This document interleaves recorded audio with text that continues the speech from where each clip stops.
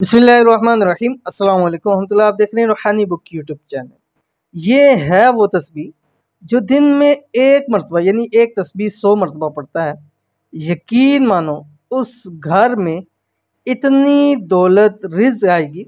लोग अमल पूछेंगे आपसे कि, यार, ऐसा कौन सा अमल करते हो? कि दिन ब दिन आपकी दौलत बढ़ती चली जा रही है। दिन ब दिन आपका रिज बढ़ता चला जा रहा है। दिन ब दिन आप पर रब की नेमतें ज़्यादा होती जा रही हैं। हमें भी वो अमल बताओ, हम भी वो अमल करना चाहेंगे।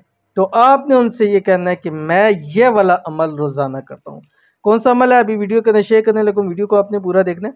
चैनल पे नहीं है, चैनल को ज़रूर सब्सक्राइब करके बेल आइकन के बटन को दबा लें, ताकि आने वाली तमाम लेटेस्ट वीडियोस आपको बर वक्त मिल सकें। अगर ये तस्वीर जो इस वीडियो के अंदर बताई जा रही है, रोज़ाना सिर्फ़ एक बार, यानी सौ मरतबा पढ़ लेते हैं। तो यकीन मानो कि इस तस्वीर की बरकत से आपके घर इतना रिज्क और दौलत आएगा। महल्ले वाले पूछ पूछ कर आपको तंग करेंगे कि यार तू ऐसा कौन सा अमल कर रहा है?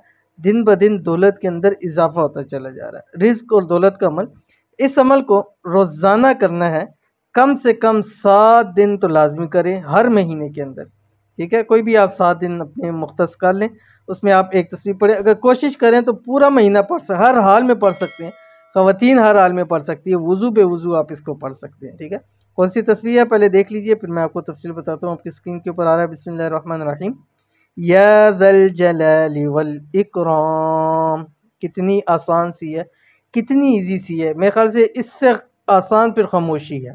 अगर आप चाहते हैं कि आसान से अमल से सब कुछ आपके मसाइल हल हो जाए रिज दौलत की बरसात हो जाए तो ये अमल आपने करना शुरू कर देना। बस अव्वल आखिर तीन मरतबा द्रूशी पढ़ लीजिए, कीजिए। कोई सा भी अगर दरुद इब्राहिमी पढ़ना चाहें तो वो ज़्यादा बेस्ट है। और उसके बाद एक तस्वीर दिन में पढ़ लें, हर नमाज़ के बाद पढ़ें, दिन में एक तस्वीर पढ़ें, आपकी मर्ज़ी है, लेकिन कम से कम दिन में सौ मरतबा आपने ज़रूर पढ़ना है। तो अमल कीजिएगा इन बहुत फ़ायदा होगा। मिलते हैं नेक्स्ट वीडियो के अंदर, तब तक के लिए अल्लाह हाफिज़।